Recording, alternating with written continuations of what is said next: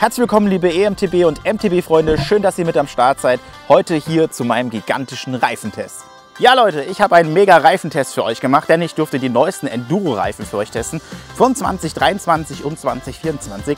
Ich habe die auf verschiedensten Untergründen, auf verschiedensten Orten für euch untereinander getestet und wollte herausfinden, was können die neuesten Pneus. Aber nicht nur das, sondern ich habe die auch verglichen mit zwei älteren äh, Reifenmodellen, die letztes Jahr richtig gut waren und da wollte ich auch herausfinden, was hat sich jetzt eigentlich technologiemäßig getan, was ist besser geworden, was ist vielleicht sogar auch schlechter geworden.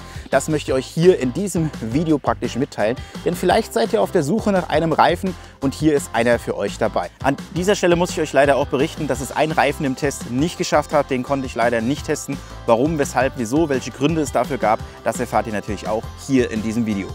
Am Ende gibt es natürlich ein Fazit zu allen Reifen und ich würde sagen, wir legen einfach los. Und ich würde sagen, wir starten direkt los mit dem ersten und neuesten Pneu und zwar von Schwalbe, den Tracky Chan. Diese Reifen hat eine Entwicklungszeit von zwei Jahren hinter sich und wurde ausgiebig im Downhill ausprobiert und soll, so wie man ja das Ganze so ein bisschen hinter den Kulissen hört, auch so langsam den alten guten Magic Mary ablösen. Sehr, sehr schade fand ich es beim neuen Tracky Chan, dass es ihn nur aktuell in einer 2,4 Zoll breiten Reifengröße gibt. Ich hätte gerne mir noch eine 2,6 Zoll breite Reifengröße gewünscht, aber die ist aktuell bei Schwalbe noch nicht vorgesehen. Ja Leute, und kommen wir direkt auch schon zu den Eckdaten. Und zwar bei meinen Fahrtests war es so gewesen, dass der Rollwiderstand Zustand okay ist. Es ist kein richtiger Leichtlaufreifen, aber er rollt relativ gut und ich denke für ganz normale MTB-Leute ist das absolut akzeptabel. Die beste Disziplin und was er richtig gut kann, ist Krippen, Leute. Der Grip ist bei diesem Reifen überragend und es macht so mega Bock, mit dem in die Kurven reinzufetzen. Den Reifen interessiert es überhaupt nicht, Leute, ob ihr auf weichen Böden fahrt, auf Steinböden oder ob ihr auf eine Querwurzel drüber fahrt, über einen Wurzelteppich. Das, der Reifen fährt wirklich wie auf Schienen und das hat mir sehr gut gefallen. Trotz des niedrig, niedrigen Querschnittes vom Reifen gibt er eine sehr gute Resonanz, eine sehr gute Eigendämpfung zurück, was mich persönlich sehr erstaunt hat. Und es macht wirklich Heidenspaß und das schafft Vertrauen schon ab den ersten paar Metern. Das Bremsen in Kurven sowie auf geraden Strecken ist mit einer glatten 2 zu bewerten. Der Reifen verzögert wirklich gut. Es passieren keine unvorhergesehenen Dinge. Der Reifen tut das, was er soll und das ist wirklich ja, mit der Note 2 gut zu bewerten. Neben dem guten Rollwiderstand, den exzellenten Grip und das gute Kurvenverhalten sowie Bremsen hat dieser Reifen doch eine große Schwäche und das muss ich hier auch erwähnen. Wenn es schottrig wird über einen bestimmten Grad, dann ist dieser Reifen absolut verloren und das ist seine größte Schwäche. Also ich habe wirklich ganz ehrlich, ich bin noch nie so schlecht mit einem Reifen gefahren auf schottrigem Gelände. Wir reden hier nicht von kleinen Splittsachen und so, das schafft er sehr gut, sondern von etwas größeren Schotterbedingungen. Da verliert dieser Reifen ganz schnell an Haftung und dieses gute Fahrgefühl geht, ganz, geht sehr schnell verloren. Mal von dieser Schwäche abgesehen, macht diese Reifen eine sehr gute Figur und ob er jetzt wirklich den Magic Mary vom Thron stürzt, ja, das ist schwer zu sagen. Man müsste ihn wirklich mal in einer 2.6er Größe noch fahren, ähm, dann könnte man mehr darüber sagen. Im Moment kann ich einfach nur darüber berichten, dass dieser Reifen ein gelungener Reifen ist und sehr gut funktioniert. Jojo Leute, Pirelli ist wieder am Start mit dem neuen Race Enduro Reifen in der M-Version und in der T-Version. Die M-Version steht für Mixterrain und die T-Version steht für Traction, also für Traktion. Und beide Reifen kommen in einer Enduro-Version oder können auch in einer DH-Version genommen werden. Sie haben die neue Evo äh, Smart Grip Technologie mit drauf. Das heißt, die Gummimischung ist eine sehr weiche Mischung und die soll diesen Reifen ganz nach vorne bringen. Im Laufe meines Tests hatte ich am Anfang vorne die M-Version drauf und hinten die T-Version. Allerdings muss ich euch sagen, habe ich während des Testes ähm, die T-Version vorne und hinten gefahren und das ist doch die bessere Wahl. Den Race-Reifen von Pirelli, sehr gut zu erkennen durch das gelbe Label auf den Seiten, gibt es nur in einer 2,5 Zoll breiten Größe. Der Rollwiderstand des M-Reifen würde ich mit einer 2- bis 3 bezeichnen. Er hat schon ein bisschen mehr Rollwiderstand aufgrund des weichen Profils. Das Bremsverhalten in Kurven sowie ähm, auf gerader Fläche ist mit, einem, mit einer glatten 2 zu bezeichnen, genauso wie der Schwalbereifen. Bremsen tut das Ding wirklich gut, es passiert nichts Unvorhergesehenes, der Reifen äh, fängt an Grip aufzubauen äh, und verzögert wirklich gut. Anders sieht es aus in Grenzbereichen oder beziehungsweise wenn man diesen Reifen auf die Seitenstollen bringt. Ähm, wenn man in schnelle Kurvenpassagen, in schnelle Kurvenpassagen reinfährt, dann hat man manchmal so das Gefühl, dass dieser Reifen anfängt zu driften, beziehungsweise man kriegt irgendwie so das Gefühl, dass der wegrutschen möchte. Er tut das zwar nicht, ähm, sein Grenzbereich liegt noch weit darüber, allerdings gibt einem das immer so ein ganz komisches Gefühl und das ist eine absolute Schwäche bei diesem Reifen, wo mir auch wirklich nicht gefallen hat. Und aus diesem Grunde bin ich auf den T-Reifen gekommen, weil das ist ja der Reifen für Traction, also für Traktion, Bremsleistung und so weiter. Und deswegen kam ich auf die Idee, die T-Version auf das Vorderrad zu machen. Und Leute, Leute, Leute, hier hat sich was ganz Erstaunliches entwickelt. Die Kombination, den T-Reifen auf dem Vorder- und auf dem Hinterrad zu fahren, war eine richtig kluge Entscheidung. Denn auf dem Vorderrad macht der Reifen das, was er jetzt endlich auch soll einen sehr guten Rollwiderstand, eine richtig gute Rückmeldung vom Reifen sowie der Grip funktioniert jetzt richtig hammermäßig. Egal wie ihr fahrt, über was ihr drüber fahrt, ob es steinig ist, ob wurzelig ist oder sonst irgendwas, der Reifen hat nicht diese Losbrechmomente, sondern gleitet da richtig drüber und das macht wieder richtig Spaß. Man bekommt auch hier wieder sehr schnell Vertrauen in den Reifen, gerade wenn man vorher den M-Version gefahren ist und fährt jetzt die T-Version. Vorher hat man so ein bisschen äh, dieses Gefühl, na, hält er, hält er nicht. Der T-Reifen, der ballert einfach geradeaus durch und gibt euch richtig viel Spaß und natürlich auch Vertrauen das Überragendste, was diese Reifen neben dem Grip noch mit sich bringt, und das ist wirklich überragend, Leute, ist, wenn man das am Hinterreifen, wenn man die T-Version am Hinterreifen fährt, ist die Bremsleistung. Egal bei welchem Untergrund, egal ob das nass ist, ob es staubig, trocken ist. Und das war dieser Effekt, wo ich hatte, den ich noch nie gehabt habe, dass bei unseren staubigen und sandigen, trockenen Trails, die wir aktuell haben, diese Reifen verzögert sagenhaft, wirklich sagenhaft auf dem Hinterrad und auf dem Vorderrad. Das ist mega krass, was diese Reifen hier an Leistung rausbringt durch diese neue Gummimischung, welche Pirelli jetzt entwickelt hat. Was auch auffällig ist und ich aber schon immer positiv fand bei Pirelli ist, dass diese Reifen ohne Dichtmilch schon fast absolut dicht sind. Ich bin in Saalbach hinterklemmen, die X-Line, den Huckleback Trail, den Bergstadel Trail, alle Trails bin ich dort gefahren, ohne Dichtmilch und die Reifen waren nach diesen Aktionen immer noch zu 100% dicht und haben keine Luft verloren, Leute. Das bedeutet, wenn ihr in diesen Reifen Dichtmilch einfüllt, dann werden 90% eurer Dichtmilch wirklich dafür verwendet, um einen, ja, ich sag mal, ein Loch zu verschließen und die restlichen 10% werden eigentlich dafür benutzt, um den Reifen komplett dicht zu machen. Das ist ein richtig gutes Ergebnis. Es gibt andere Reifen, da werden 30, 40% benötigt, um den Reifen erstmal dicht zu bekommen und die restlichen 60% werden dafür genutzt, um ein Loch zuzumachen. Ähm, das ist eine sehr, sehr gute Leistung von Pirelli an diese Reifen. Kurzum bleibt zu sagen, die M-Version ist ein guter Reifen mit einer kleinen Schwäche. Die T-Version ist ein absolut gelungener Reifen mit hervorragenden Eigenschaften. Ein neuer italienischer Reifen ist auf dem Markt und zwar der Victoria Mather in der Race-Version.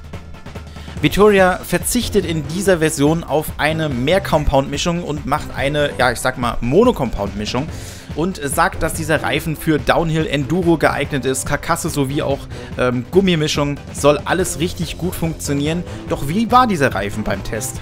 Kommen wir zum Rollwiderstand. Und ich muss euch ganz ehrlich sagen, in dem ganzen Test ist der Rollwiderstand vom Mazda-Reifen einfach überragend und mit einer 1 zu bewerten.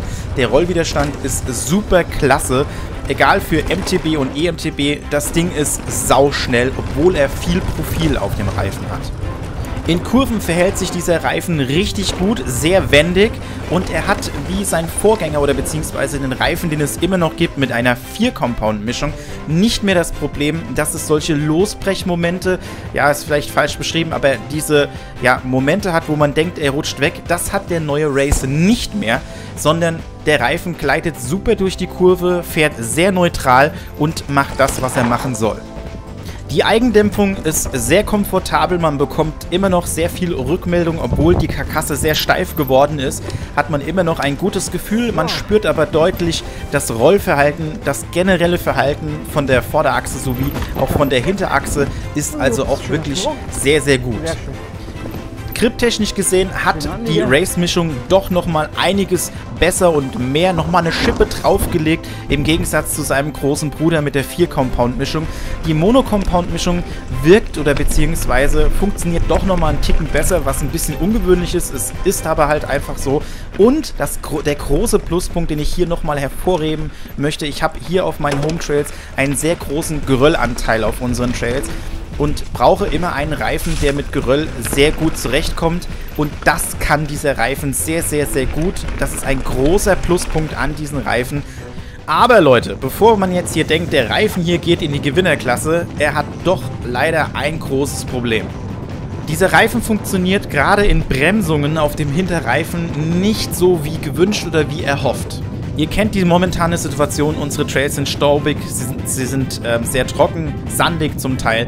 Und wenn man mit diesem Reifen, ich sag mal, relativ schnell fährt und geht dann in die Hinterradbremse rein, dann blockiert dieser Reifen so schnell und es kommt nur noch ins Rutschen, dass man eigentlich gar keine Chance mehr hat, ähm, diesen Reifen irgendwie in eine gerade Bahn zu kriegen.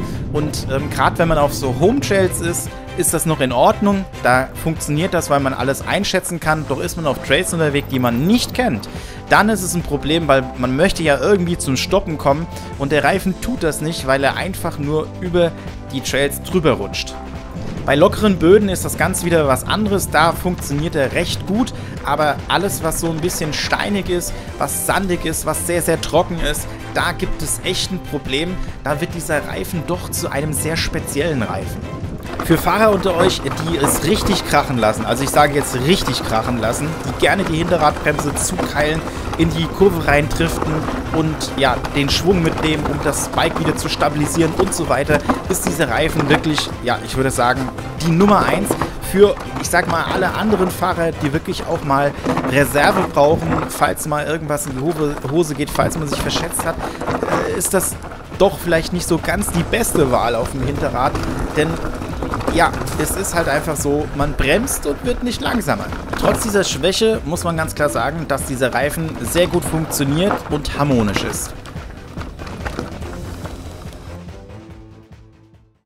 Nach den ganzen Tests der neuen Reifen habe ich gesagt, nehme ich die zwei Testsiege aus letztem Jahr noch mit dazu und wollte jetzt wissen, was können die, was kann der Kryptotal, der Argotal, was können die gegen die neuen ausrichten und hier sei euch gesagt, diese beiden Reifen gehören noch lange nicht zum alten Eisen. Die lange Entwicklungszeit dieser beiden Reifen bei Continental hat sich wirklich gelohnt, denn diese beiden Reifen fahren immer noch ganz vorne mit. Ich persönlich finde den Argotal etwas gelungener, ähm, da dieser Reifen ein wirklich super tolle Allround-Eigenschaften hat. Geröll macht ihm einfach nichts, egal was für ein Untergrund, dieser Reifen funktioniert immer. Das ist so ein Reifen, den man drauf machen kann und weiß, das Ding funktioniert immer. Der Kryptotal bremst ein kleines bisschen besser, weil er mehr Profile auf die Straße bringt und natürlich läuft er auch etwas besser in den Rolleigenschaften.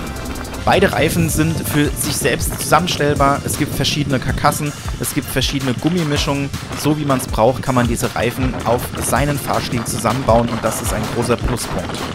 Beide Reifen sind einfach rundum gelungen und haben immer noch den Standard, den jetzt auch neue Reifen haben und das finde ich sehr bemerkenswert. Wenn man sich die Schwachpunkte anschaut, der Kryptotal kommt mit Geröllschotter nicht ganz so gut zurecht. Da wird er relativ kippelig und das kann der Argotal natürlich wieder wesentlich besser. Dafür läuft der Kryptotal ein wenig leichter als der Argotal. Und ja, man muss hier an dieser Stelle vielleicht noch einen kleinen Plus Pluspunkt an den Argotal geben, denn der ist in Kurvenverhalten, in der Wendigkeit einfach nochmal ein Ticken besser als der Kryptotal.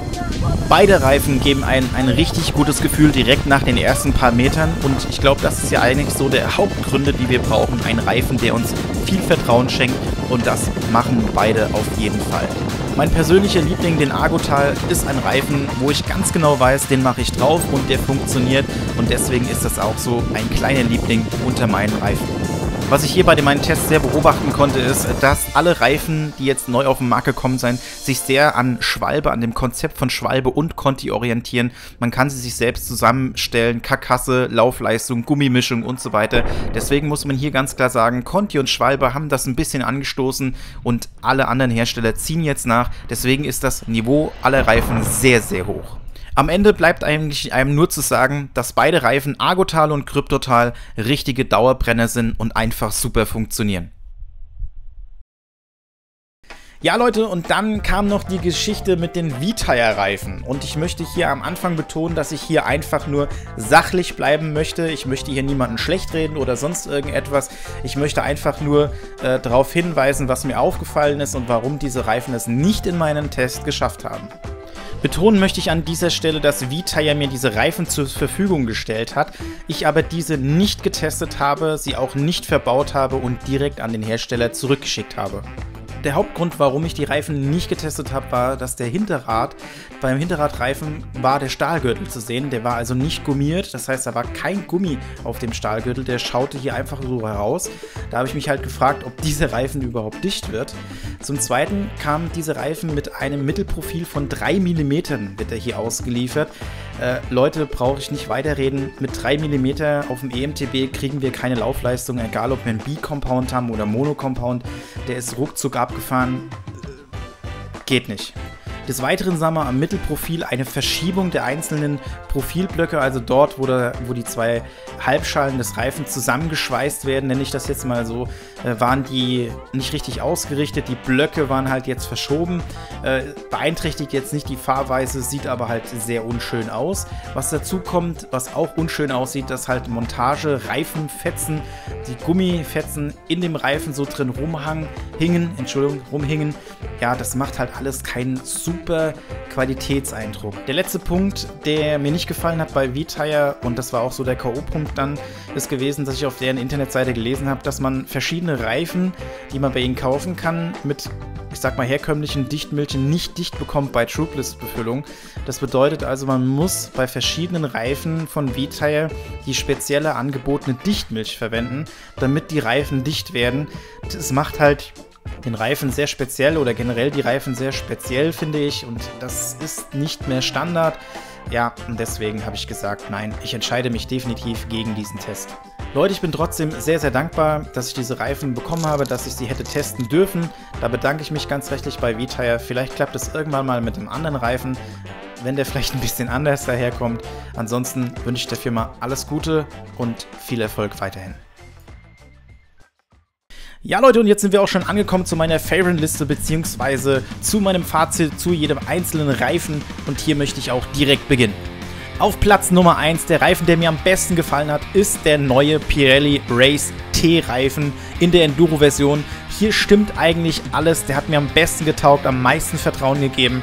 Mit dem kam ich überall zurecht, egal ob trocken, Nässe, überragende Bremsleistung auf dem Hinterrad, sehr gute Kasse, sehr gute Rückmeldung hat alles wunderbar funktioniert. Deswegen ist das so mein Lieblingsreifen geworden und hier würde ich sagen, sehr empfehlenswert. Auf Platz Nummer 2 für alle Bio-Biker definitiv der Schwalbe-Reifen. Aber auch ist der natürlich geeignet für die EMTBs, ganz klar. Kommt auf Platz 2, muss ich den Platz 2 allerdings teilen mit dem Argotal. Ich würde das jetzt einfach mal so benennen. Für alle Bio-Biker ist dieser Schwalbe-Reifen wirklich eine Erweiterung, ein ganz tolles Fahrgefühl, der glänzt mit allen Eigenschaften, hat zwar ein paar kleine Schwächen im Geröll, nicht jeder hat Geröll, deswegen habe ich ihn auf Platz 2 gesetzt. Und für alle Big Bikes, für alle EMTBs muss ich ganz klar sagen, der Argotal ist immer noch ein richtig krasser Reifen. Der kommt mit allem zurecht. Das ist der Berserker unter den Reifen, würde ich ihn nennen. Funktioniert überall top, einwandfrei. Platz Nummer 3 und der teilt sich natürlich auch einen Platz und zwar der Kryptotal. Kryptotal ist kein altes Eisen, funktioniert immer noch sehr gut, ist in verschiedenen Gummimischungen äh, zu bekommen. Man kann ihn selbst zusammenstellen, hat Top-Fahreigenschaften, macht richtig viel Laune. Er teilt sich den Platz mit den Pirelli M-Reifen, der auch richtig gut funktioniert, kleine Schwächen hat bei, ja, ich sag mal, brenzlichen Situationen in Kurven etc. Muss man sich ein bisschen dran gewöhnen. Dafür kann der Kryptotal die Geröll nicht so gut, da wirkt der sehr kippelig, deswegen kommen beide auf Platz Nummer 3. Last but not least kommt auf Platz Nummer 4 der neue Victoria Mazda Race. Und bitte Leute, denkt jetzt nicht daran, dass dieser Reifen schlecht ist, nur weil er auf Platz 4 landet. Das Niveau der Reifen ist unwahrscheinlich hoch. Allerdings die Schwächen, die sich dieser Reifen leistet bei der Bremsungen auf dem Hinterrad bei trockenen Trails, ist doch schon erheblich und macht diesen Reifen ja, relativ einzigartig. Der Racemasser glänzt durch einen hervorragenden Rollwiderstand, superschneller Reifen, hat eine gute Rückmeldung, sehr komfortable Reifen. Ich würde ihn immer wieder auf dem Vorderrad fahren, kommt sehr gut mit Schotter und Geröll zurecht. Das sind die Eckdaten, die diesen Reifen ausmachen. Liebe Leute, ich bedanke mich ganz herzlich fürs Einschalten. Schön, dass ihr euch die Zeit genommen habt, mein Video anzuschauen. Vielen, vielen Dank. Lasst doch, wenn es euch gefallen hat, einen Daumen oben da, Kommentare und natürlich ein Abo. Würde ich mich mega drüber freuen. Dankeschön fürs Zusehen. Habt eine schöne Zeit. Bleibt gesund. Bis zum nächsten Mal. Euer Ronny. Ciao.